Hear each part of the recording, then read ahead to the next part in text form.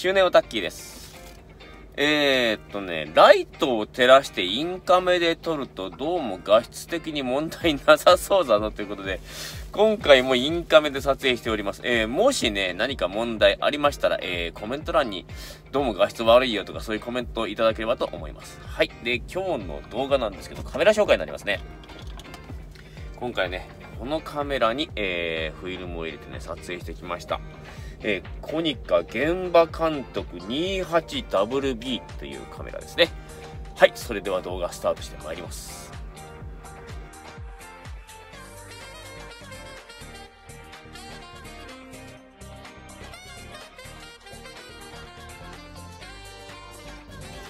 えー、今回紹介するこのコニカ現場監督 28WB なんですけどもね、えー、視聴者のね、のり様から、えー、提供いただいたカメラになります。本当にありがとうございます。これね、現場監督はなんとかね、仕入れて撮りたい撮りたいってずっとね、思ってたんですけども、結構ね、オークションで結構競争になっちゃうんですよね。映りに定評があるということと、やはりその G ショック的なね、その対ショックえー、耐水、防水か。えー、その辺を考慮されているということでね、これ、あの、スキーとかスノーボードとかに持って行ったりね、海辺で撮ったりっていうのもいいんじゃないかな。その、タフっていうのがいいんですよね。で、映りもいいということでね。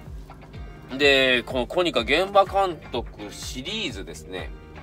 えー、1988年発売現場監督から、数度のモデルチェンジとマーケティングの結果が生まれたカメラになりますね、このカメラ。えー、従来から定評の防塵、防砂、耐ショックに加え、水で洗えることが大きな特徴で、お客様の信頼性をさらに確固たるものとした。大光量フラッシュを搭載したコニカ現場監督 28HG 及び1996年発売のコニカ現場監督ズームによって現場監督シリーズがラインアップ化されているということですね。で、この現場監督 28WB っていうのがね、えー、これ何年発売かは書いてないですけども、どうやら94年ぐらいに発売されたと思うんですけどね。レンズは、えっと、コニカ 28mmF3.5、5群5枚。えー、フィルム競争自動で135サイズ、えー、焦点調節がオートフォーカス。撮影距離が50センチから無限。えー、電池は 2CR5 で、シャッター速度が4分の1秒から280分の1秒。2秒バルブ付き。2秒バルブっていうのがあるんですね。えー、で、えー、っと、防水 JIS7 級、えー、ということで、で、重量が 350g。価格は3万9000円だったようです。これ、現場監督シリーズの、えー、28WB ってやつなんですけど、まあ、28ということで 28mm のレンズが搭載されてるまあ、広角縛りということなんですね。で、電源ボタンを入れまして、えー、基本的にはね、もう、えー、このフラッシュがオンかオフかぐらいしか選べないのかな？うん。で、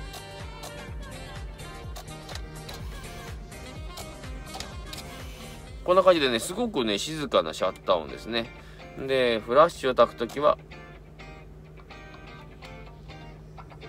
赤マークだな。チャージが終わってないのかなあ、これフィルムが入ってないから空打ちそんなにできないのか。よっ。電源を入れ直して。まあ、こんな感じですかね。フラッシュは結構ね、ガイドナンバーまでは書いてないんですけども、そこそこに、12とか14とかそのぐらいはあるのかな。そこそこ明るいフラッシュになってます。で、あの、ここね、ここにあの、これがファインダーの窓ですけど、で、ここに2つちっちゃい窓がありますけど、えー、これから赤外光かなんか発射して、えー、っと、三角測量法でオートフォーカスを取る、えー、方式なんでしょうけど、この窓こ、こんなに短い間隔でもオートフォーカス正確に出るんですね。まあ、あのまあ、作例を見て、後で作例見ていただきますけども、オートフォーカスの精度はそこまで必要がないのかもしれませんけど、まあ、あの、それから説明しますけど、えー、防水ということでね、このフィルムを開けるとこはここねじれ型になってるんですね。で、ここにね、比較的その、なんていうんですか、尖った隔壁がありまして、こちら側にはラバーがね、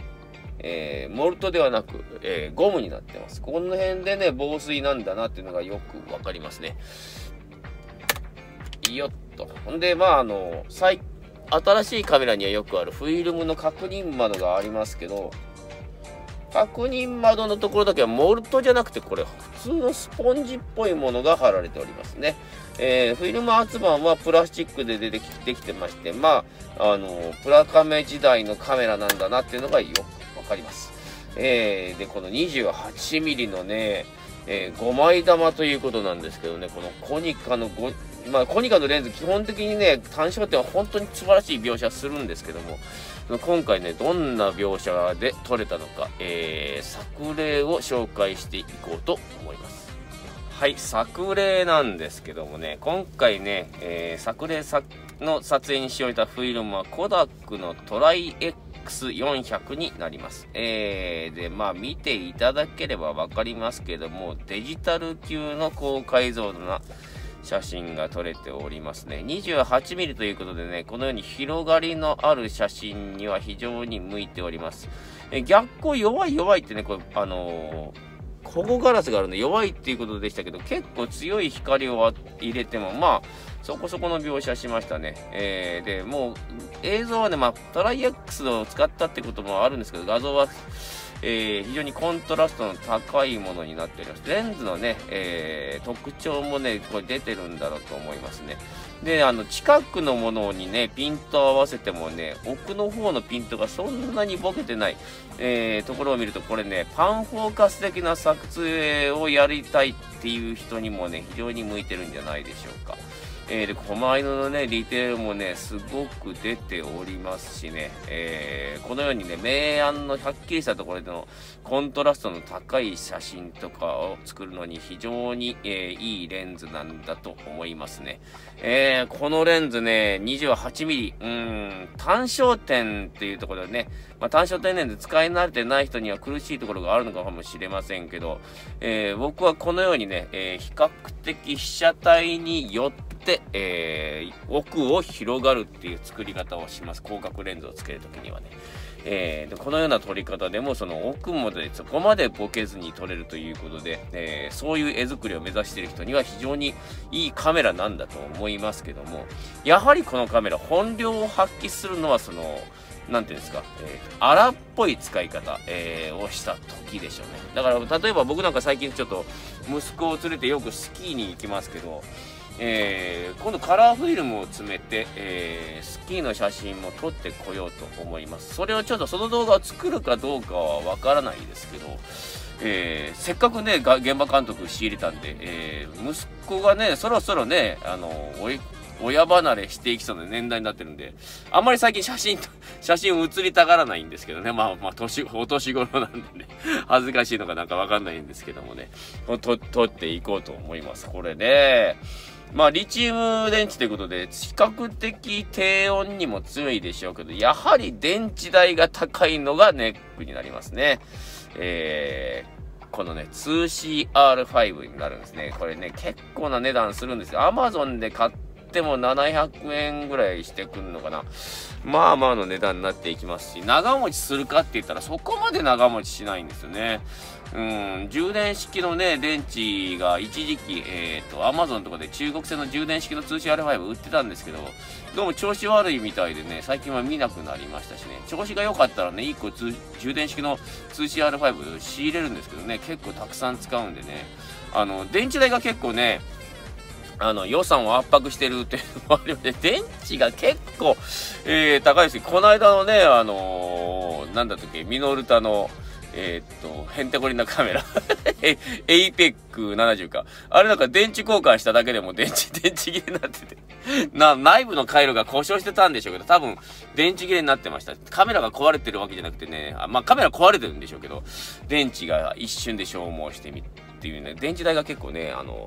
まあ、くのりさん今回ね、あの、電池もね、あの、入れて送っていただいたんでね、電池代の、その、予算、予算の方もね、削られて済んだんですけども、まあ、このカメラなんですけどね、本当にね、映りはいいです。28mm ということで、えー、35mm 版もあったら、まあ面白かったのかな。35mm 版っていうのはないのかなあ、あるね。35mm 版。えーとね、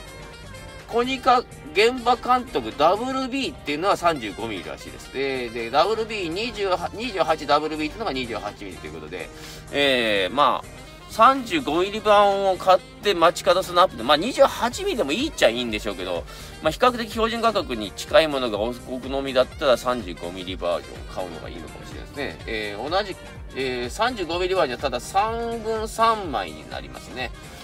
うん、レンズ構成が3枚になっています。28mm の方が5分5枚ということですね。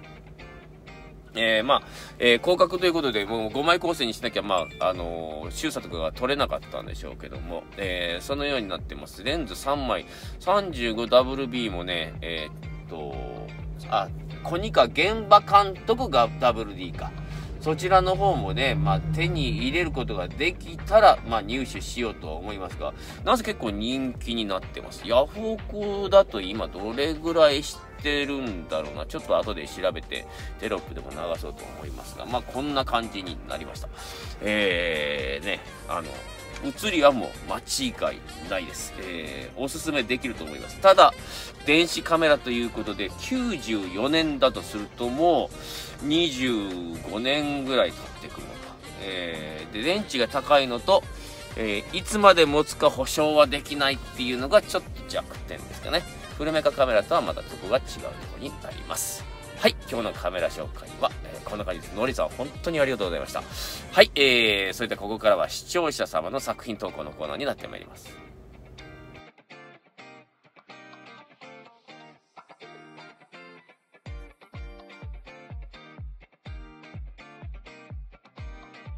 はい。作品投稿のコーナー。今日のトップバッターは、えー、ヒデさんさんですね。えー、っとね、いつも楽しく見させていただきます。前回紹介されていたキヤノンオートボーイ、僕も欲しくなり AF35M を4000円で落札。今のところ快調ですということですね。ところで今回2枚投稿させていただきます。カメラキヤノン AE1、レンズキヤノン FD レンズ 24mmF2.8 で、えー、2枚とも F8250 で撮影しておりますということですね。えー、フィルムがコダックの 200? コダック200としか書いてない。カラープラスかどっちかな。えー、作名、作品名1枚目が夏の終わり。2枚目が古民家にてということですね。えー、午前中で天候は晴れなのですが、黄色っぽく見えるのはコダックの特徴かなということですね。えー、で、作品なんですけど、確かに黄色っぽく見えますね。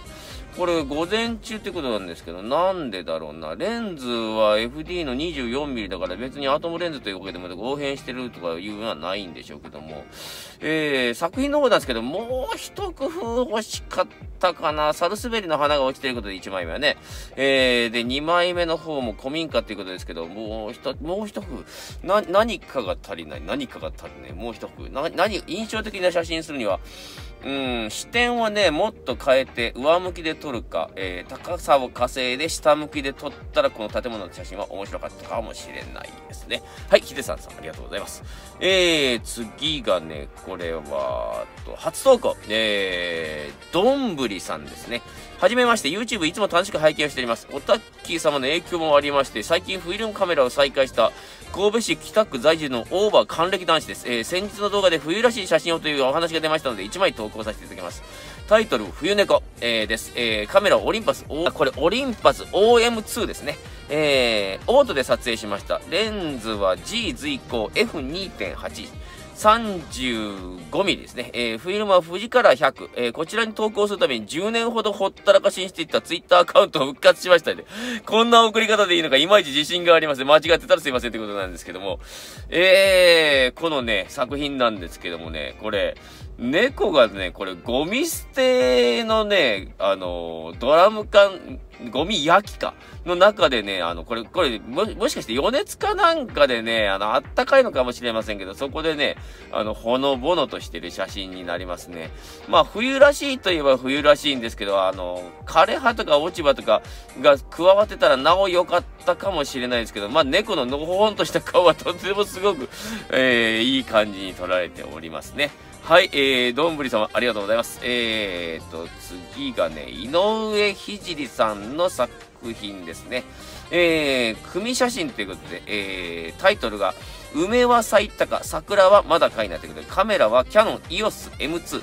えー、レンズが 28105F3.5 から4.5 2えー、で、ビオトレッ XEFEOS M2 で、あ、これマウントアダプターのことかな。えー、いつも誰もいないところでポツンと一人写真を撮っていることが多いのですが、今回は珍しくお花見どころの撮影です。私としては一大決心です。ここではカメラをぶら下げていてもじろじろ見られない、目立たない。えー、一枚一枚のテクは皆さんに負けるので、いつも3コマ漫画のようなストーリーと落ちのある組写真に逃げているのですが、今回は、うん、何もないです。組写真は俳句のようなところもあり考えるのが楽しいですよですね。で、作品なんですけどもね、これもうあの、見ていただければわかりますけど、ほんとね、えー、デジタル写真だなーっていうね、えー、色、解像度、えー、梅の写真になってますけども、えー、まあ、えー、花の写真というか3枚目、ちょっとつぼみがね、まだ多いような状況なので、えー、花としてはまあパッとしないですけど、3枚目の方はね、なかなか咲いております。僕としてはね、これ28105だったかな。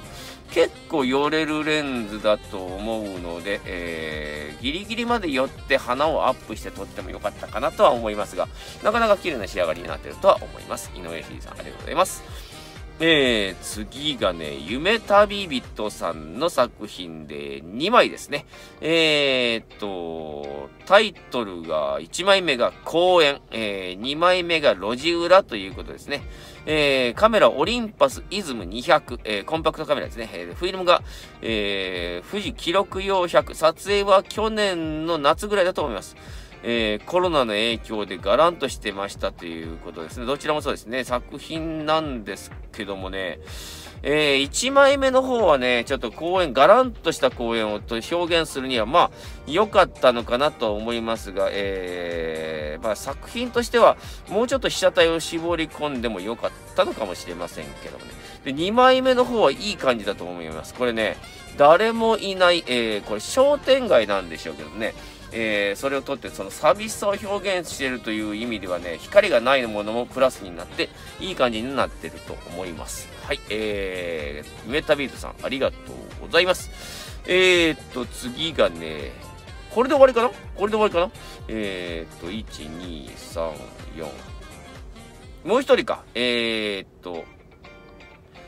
ミッシェルさんの作品ですね。えー、ミッシェルさんから今回は2枚ですね。えー、投稿します。えー、元日から、え、除雪お疲れ様っていうのが1枚目。えー、2枚目が、雪掘りの後は温泉でのんびりと。で、1枚目のカメラが、えー、ミノルタのハイマチック7、コダックカラープラス200。えー、まだまだ雪が序の口、この後大変なことになりましたということです。2枚目の方はコニカオート S、コダックプロイメージ100。連日の雪掘りの疲れを日帰り温泉で癒していますということなんですけどね、もうね、新潟にお住まいのミッシェルさんにはもう冬の写真、ドンピシャなんですけどもね、これ1枚目ね、もう本当当に寒そう。あのー、雨がっぱを着て、えっと、除雪の準備をしてるような段階なんですけどね、その前かがみになって作業してるのがね、より寒さ、寒そうなね、感じをね、あの、醸し出してますね。2枚目の方なんですけども、看板が埋まっちゃうぐらいの雪。えー、新潟今年ね、えっと、序盤、えー、冬、冬になってしばらくの間、ものすごい雪になってまして、ね、まあ、富山とか、まあ、北陸方面全部そうなんですけども、えー、看板が埋まるような雪ということで、まさに冬らしい写真だと思います。はい、ミシェルさんありがとうございます。えー、今日の作品投稿のコーナーはこんな感じですね。えー、ここからは、俺のカメラのコーナーになってまいります。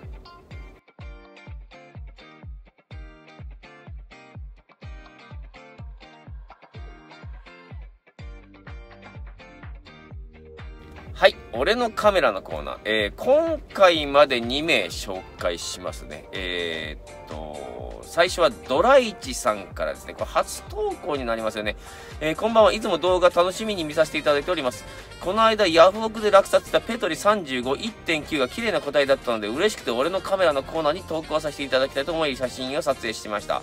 えー、この画像は家で一番おしゃれ、おっぽい、えー、木目の机に乗せて、デジカメプラスフラッシュで撮りました。今こいつにフィルム詰めて試写しているので、結果が出るのが楽しみです。こんな画像でよければ、えー、何卒よろしくお願いします。いや、これね、なかなかいい状態のペトリ35。かっこいいですね。これ、これ欲しいんですけど、なかなかね、もうみんな人気なのか、えー、なかなか入手できないですよね。もうデザインがね、すごくかっこいいですよね。で、レンズもね、なかなか、えー、っと、クラシカルなね、えー、共同でね、いい感じで、ペトリのね、カメラってね、結構ね、えっと、あの、ペトリっていうメーカーはその廉価カメラを作っていたメーカーなんですけども、廉価カメラを作っていたのにね、自社製品にこだわったりして結構こだわってるカメラが多いんですね。で、現在も人気が高いんですけども、これはね、ペトリ35は多分ペトリの中で一番人気だと思うんですけど、えー、羨ましい限りです。ドライチさんありがとうございます。えー、次が、えー、っと、ポンポコさんからですね。えー、俺のカメラに投稿いたします。えー、撮影機材パナソニック GF5。レンズ実4 40mm、えー、父親から受け継いだオリンパスペンです。子供の頃はよく撮ってもらいました。これと絡めて撮影したのが、母が若かりしき頃のアルバムです。タイトルをつけるとすれば母のアルバム、父のカメラですかね、ということなんですけども、この2枚ね、うーん、これどちらもね、このノスタルジックなね、あのアルバムで、いやー、ちかをタイトル画面にしたいという、もう今ちょっとね、どっちをタイトル画面にするか迷うっていうぐらいね、同じ、同じ作者の写真でどっちがいいか迷っているぐらいですね。久しぶりのね、えー、っと、俺のカメラ、久しぶりのタイトル画面交代になりましたが、お見事です。ありがとうございます。えー、今日の動画はね、こんな感じになっていきます。今日、まあ今週の動画はこれで終わりなんですけども、えー、次週のね、動画、えー、撮影が進んでないんですね。まあ、祭日があったのと、えー、仕事が結構忙しいのと、あまり天気が良くなかったのと、まあ、トリプルパンチを食らいまして、とりあえずはね、えー、っと、このカメラね、えー、ニコンの EM で撮影しました。このフィルム。このフォーカスっていうね、えー、これロシア製のフィルムなんですけども、えー、これは撮影が上がりました。で、現像失敗しない限りは、えー、来週の動画これが入ってくると思いますが、もう一本がなーって感じですね。久しぶりにね、なんか雑談のね、動画を作るかもしれないんですけども、雑談の動画作るぐらいだったらもうライブしろよっていう話にもなってきますから、来週はライブ2本ぐらいするかもしれない。ライブ2本やって、えー、ネタがこう持つかなっていう。最近ね、なんかこう、ライブの話題をね、適当に作ってるような感じで、この間もそうですけど、うん、今日何の話しようとか言うて、あの、AE カメラの話でもしましょうかっていうので、えー、つか、まあ、とりあえずつかみは OK だったんですけど、まあ、来週の動画どうなるか、えー、ちょっと今のところ見てということで、まあ、えー、まだまだね、えっ、ー、と、緊急事態宣言が出ている地域がたくさんありまして、できるだけたくさんの動画を作っていきたいのと、あと、その、コロナがね、えー、コロナ禍が終わった後に、その、とりあえずその、あちこちでオフ会をやりたいっていうのでね、お金を稼がなければいけないということで、頑張って動画作っていってます。えー、まあ、東京に行くとなるとね、まあ、徳島からだとね、えー、日帰りで行く予定なんで、7万円ぐらいかかっちゃうんですよね、ほんとね。まあ、まあ、頑張ってね、お金を貯めてね、みんなに会いに行きたいなと思ってます。えー、たくさんの人に応援してもらってるんでね、全力で答えたいと思います。で、あの、無理をしないでとかね、あの、いろんなね、あの、励ましの言葉いただいて、本当にありがとうございます。えー、でも、こんな、なんかね、この、僕の今までの人生でね、ずっと無理して生きてきたんでね、なんか無理しないとね、あの、止まんないみたいなんで、ね、まあ、あの、泳いでないと死んでしまうサメみたいな 感じの人間になっておりまして、えー、どうやって緩めていいかね、わかんないんですよね。まあそんなわけでね、あの、ぶっ倒れるまで、とりあえず全力で、全力疾走でいこうと思いますね。ぶっ倒れたら考えます。